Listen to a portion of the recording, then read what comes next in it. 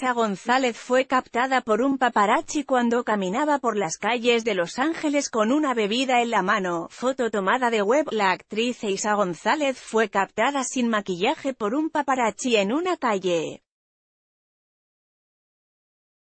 de Los Ángeles, California, al parecer a la artista no le hizo gracias que la estuvieran fotografiando, así que decidió cubrir su rostro con el vaso que llevaba en la mano y salió huyendo del lugar.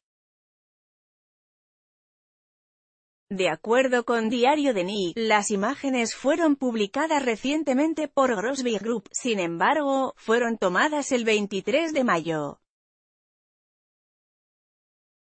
En las fotos se ve a Sheisa saliendo con lo que parece ser un café helado, mismo que usó para cubrirse el rostro en un intento porque las cámaras no captaran su imagen sin maquillaje o simplemente para evitar el asedio de la prensa.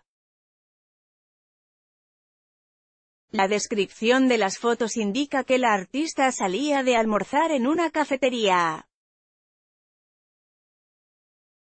La actitud de Eisa González contrasta con la que usualmente muestra, desinhibida y segura de sí misma, esto puede ser porque en las últimas veces la actriz fue severamente criticada en redes.